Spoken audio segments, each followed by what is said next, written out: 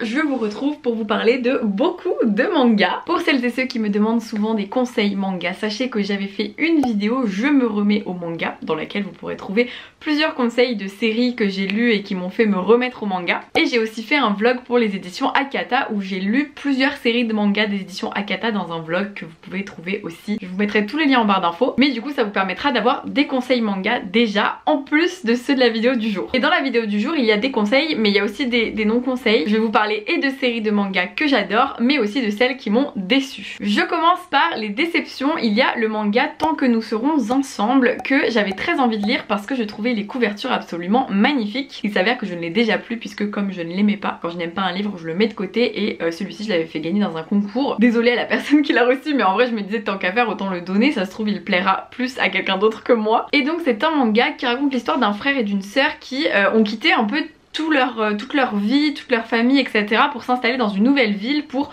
recommencer à zéro et euh, il plane une sorte d'ambiguïté, on sait pas trop s'ils se considèrent comme un couple ou pas, mais les gens les considèrent comme un couple alors qu'en fait ils sont frères et sœurs. J'avoue que les trucs sur euh, les frères et sœurs ça me dérange pas en soi quand c'est assez bien fait, même si en fait j'ai presque jamais lu de livre bien fait sur cette thématique. Mais là il y a un truc qui est un peu bizarre, déjà j'ai trouvé le manga assez brouillon, j'avais un peu du mal à me repérer, il y a plusieurs histoires dans une seule histoire et on comprend pas du tout les liens dans le premier tome. En plus de cette ambiguïté relationnelle qui est très bizarre et où on n'a pas l'impression, enfin ils savent que c'est pas bien mais c'est pas vraiment pas bien, enfin bref c'est un peu bizarre. J'avoue que ça ne l'a pas du tout fait pour moi, vraiment euh, j'étais trop déçue parce que les couvertures de ces mangas sont sublimes et j'avais trop envie de les avoir. C'est complètement superficiel mais j'allais pas me forcer éternellement euh, donc je me suis dit tant qu'à faire je donne le tome 1 et je ne lirai pas la suite. Mais si jamais vous avez lu la suite je suis curieuse d'avoir votre avis. Puis on passe à une autre déception qui est très... elle fait mal celle-là, elle fait très mal. Euh, c'est pour la série de manga C'était nous de Yuki Obata publiée aux éditions Soleil Manga mais cette série n'existe plus, elle n'est plus éditée. Si vous avez vu mes précédentes vidéos, vous connaissez mes aventures avec cette série, elle est introuvable euh, sur internet ou alors à des prix absolument déments.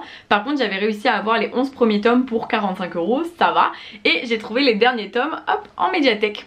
Donc j'ai pu la lire dans son intégralité. Et il s'avère que euh, c'était une erreur puisque si j'avais su, j'aurais juste acheté le tome 1, je l'aurais lu, j'aurais pas trop aimé et j'aurais jamais continué malheureusement. C'était nous, c'est l'histoire de Nanami qui arrive en seconde et euh, autour d'elle, toutes les filles sont folles amoureuses d'un certain Yano. Et Nanami, elle est persuadée que elle, elle ne tombera pas amoureuse de lui, sauf que au fur et à mesure, elle va quand même nourrir des, sentiments pour euh, ce personnage et elle a envie de découvrir un petit peu ses secrets parce qu'on se rend compte qu'il cache pas mal de choses. Dès le premier tome, ça commence assez mal dans le sens où euh, dès le premier tome, on est face à une histoire qui est très brouillonne, on comprend pas qui est qui, qui parle à qui. Je pense que la traduction n'est pas très bonne dans celui-ci parce que vraiment des fois ça n'avait aucun sens. Et c'est pas la première fois que ça m'arrive de lire des mauvaises traductions en manga. Ça se tient tout de suite puisqu'il y a carrément parfois des erreurs de pronoms enfin vous voyez genre la personne est censée parler d'un personnage mais en fait elle parle d'un autre. Et toi quand tu lis tu le sais. Désolé vous avez le soleil qui vient et qui part dans cette vidéo mais écoutez on ne va pas cracher sur le soleil. Donc je le laisse faire ce qu'il veut pour la luminosité de ma vidéo.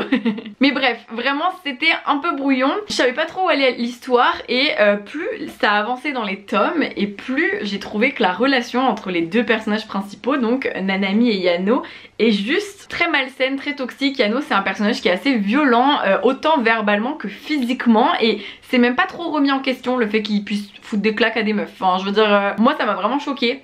Euh, il y a pas mal de choses comme ça qui m'ont choqué dans cette série. tout le côté très malsain des relations, beaucoup dans la culpabilisation, beaucoup dans le, dans le sacrifice pour les autres, mais, mais too much. Enfin vraiment, le côté s'abandonner soi-même pour se donner aux autres, moi je trouve ça très toxique et là dans ce manga c'est encore une fois très peu remis en question et c'est ce qui m'a pas mal dérangé. Étant donné que j'avais acheté les 11 tomes, je me suis forcée. je me suis dit Audrey, tu ne vas pas ne pas lire les 11 tomes que tu as achetés, donc Plus je les avais empruntés, donc je les avais tous, vraiment je pouvais enchaîner. Et il s'avère qu'à partir du tome 8, les personnages grandissent d'un coup, on est plusieurs années plus tard et on ne comprend pas ce qui s'est passé dans la vie des personnages, tout ça. Et j'avoue qu'à partir de l'âge adulte, les personnages sont quand même plus sains et euh, il y a quelque chose de plus addictif dans l'histoire, donc j'ai quand même été contente de lire les derniers tomes. La deuxième moitié de la série est sympa, mais la première moitié est vraiment malsaine, pas très agréable à lire, pas très addictive, on, veut juste lire pour la relation principale mais il n'y a rien de plus. Et j'avoue que même si les 8 derniers tomes sont sympas à lire pour euh, le côté adulte plus mature, ça reste très... ça tourne en rond, ça n'avance pas trop, c'est... leurs choix aux personnages sont un peu chelous, enfin bref, il y a un peu tout ça. Mais bon, j'avoue, l'intrigue principale m'a titillé jusqu'à ce que je lise la fin quoi. J'avais besoin de savoir ce qui allait se passer, comment ça allait finir et j'étais contente de finir cette série quand même. Mais c'est une déception dans le sens où franchement, j'aurais eu que le tome 1 sous la main, j'aurais jamais lu la suite. Donc, je vous conseille pas de les lire. On oublie les déceptions et on passe aux bonnes, voire très bonnes lectures. Et là, je sais que vous allez être content et contente. J'ai commencé la série de manga A Silent Voice de Yoshitoki Oima, publiée aux éditions Kiun Shonen. Et il s'avère que vous me l'avez beaucoup, beaucoup, beaucoup recommandé. Et d'ailleurs, Michael de la librairie Le Renard Doré, dans la vidéo où j'achète un livre par librairie, la fameuse vidéo qui m'a fait me remettre au manga, il me les avait conseillés. Et depuis que Michael me les a conseillés, je veux les lire à tout prix, sauf que à cause de la pénurie de papier, tout ça, bref, impossible de les trouver. En tout cas, impossible de trouver le tome 1. Et autant vous dire que c'était quand même relativement frustrant parce que bah moi j'avais envie de commencer la série. À l'époque, je n'étais pas encore inscrite à la médiathèque, donc je ne savais pas que je pouvais les avoir à la médiathèque. Et une abonnée m'a dit, mais Audrey, achète-les sur Vinted. Très bonne idée. J'ai acheté les trois premiers tomes pour 8 euros, je crois, donc très rentable en plus. Et je les ai commencés. J'ai pour l'instant lu les deux premiers tomes, mais je peux déjà vous en parler parce que je trouve la thématique très sympa. Malgré les sujets difficiles, je suis plutôt accro à cette série. Donc voilà. C'est l'histoire de Shoko qui arrive euh, dans une nouvelle classe parce qu'elle se faisait harceler dans son ancienne école. Et il s'avère que dans cette nouvelle classe, il y a le personnage de Shoya qui est ici, euh, qui va la harceler lui aussi. Shoko, elle est sourde, enfin elle est malentendante et euh, ça va être finalement un argument pour que Shoya pousse tout le monde à harceler ce personnage qui va finir par changer d'école encore une fois et on va suivre les personnages plusieurs années après et tenter finalement de comprendre pourquoi Shoya s'est tant acharné sur Shoko. Et je n'en suis qu'au début mais je trouve ça très intéressant sur la thématique du harcèlement parce que ça nous montre à quel point même si le harcèlement n'est jamais justifiable ça nous montre à quel point il y a plein d'éléments extérieurs qui font qu'un personnage peut harceler un autre personnage, de même pour les êtres humains dans la vraie vie, et même si ça ne justifie évidemment rien, je trouve que c'est intéressant d'y réfléchir et je pense que c'est ce que cette série de manga fait. J'en suis qu'au tome 2, donc je peux pas vous en dire trop. Les dessins sont assez, euh, comment dire, Vu que je suis pas très douée en manga, je pourrais pas vous dire, mais ça va être des traits assez bruts, il y a assez peu de détails à mes yeux en tout cas. Et au début, c'est ce qui me donnait moins envie de lire cette série. Euh, puis peut-être aussi les traits un petit peu clichés du personnage de Shoya où je trouve qu'il fait un petit peu personnage de, vous voyez genre Naruto ou One Piece, enfin c'est pas, euh, je critique pas du tout ces séries de manga mais c'est juste moins mon style. Donc je me disais que ça me plairait pas trop, finalement j'aime beaucoup, il y a aussi beaucoup d'humour, euh, les personnages sont assez attachants. Donc pour l'instant j'aime cette série. Pour l'instant, j'ai pas fini de la lire, mais je me suis dit que j'allais vous la présenter quand même puisque il y a plein de séries non terminées dans cette vidéo. De toute façon, dans les mangas, il y a souvent des séries non terminées. Au début, je voulais vous faire des vidéos manga que quand je terminais des séries et je me suis rendu compte que ça serait beaucoup trop long puisqu'il y en a qui sont en cours et qu'on en est au tome 6, 8 et qu'en fait euh, il en reste encore. Donc autant vous en parler déjà pour vous dire ce que j'aime ou ce que j'aime pas. A Silent Voice, pour l'instant, j'aime, mais j'ai hâte d'en savoir plus parce que on sait jamais, ça se trouve, ça va pas me plaire sur le long terme quoi. J'avais aussi acheté au Renard Doré, il me semble, euh, la série Corps Solitaire de Haru Haruno, publiée aux éditions Kana, Big Kana, donc c'est plutôt la collection jeune adulte adulte. Et en effet on est sur une thématique qui est quand même beaucoup plus adulte puisque on va suivre le personnage de Michi qui a 32 ans et euh, elle a une assez bonne relation avec son mari mais ils n'ont absolument plus aucune relation sexuelle. Et un soir, euh, Michi elle va aller euh, boire un verre avec Makoto, un collègue de travail, et il s'avère que lui aussi il est dans la même situation avec sa femme. Et tous les deux du coup ils vont pouvoir un peu se confier autour de ça même si ça reste quand même assez tabou puisqu'ils sont collègues et ils peuvent pas non plus trop se confier et on va suivre en fait ces deux couples qui évoluent, euh, eux deux quand ils se retrouvent mais aussi chaque couple dans son quotidien et son intimité.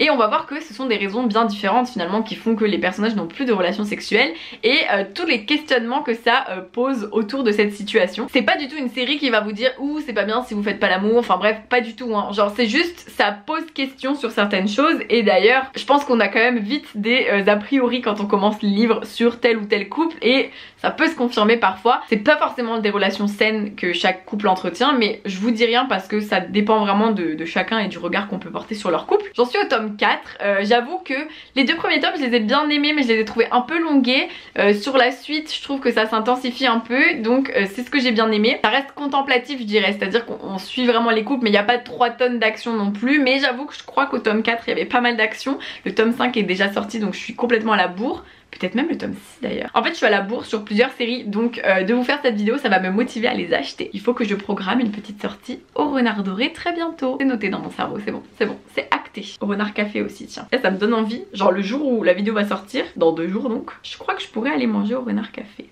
Mhm. En série non terminée où je suis à la bourre aussi mais où j'adore aussi il y a la série Switch Me On de Kujira publiée aux éditions Et euh, là aussi on est plutôt sur du young adult adulte puisque on est sur une série qui aborde un couple mais qui est un couple d'adultes. Ils ont genre 25 ans je crois à peu près. Et euh, du coup il y a aussi des euh, scènes sexuelles donc c'est pour ça que je précise. Et Switch Me On c'est une histoire trop mignonne de deux meilleurs amis qui bah, se sont toujours beaucoup aimés mais Koyori elle était en couple. Et le jour où elle se fait larguer Ijiri et elle vont coucher ensemble et ils vont se rendre compte qu'en fait ils se sont probablement toujours aimés et qu'ils vont tenter l'aventure ensemble et on est vraiment sur un shoujo assez cliché mignonné genre euh, on part vraiment de euh, ah on est meilleurs amis mais en fait on s'aime. Et euh, dans chaque tome c'est un peu des thématiques autour du couple. Genre le fait de s'installer ensemble qu'est-ce que ça implique se présenter aux familles le fait qu'il puisse y avoir des jalousies des gens qui nous draguent etc enfin bref plein de petites thématiques autour de ça. Mais je trouve ça très sympa à lire. C'est un manga qui est rempli de bienveillance. C'est très sain. Et en fait je trouve que dans les mangas sur certains points culturels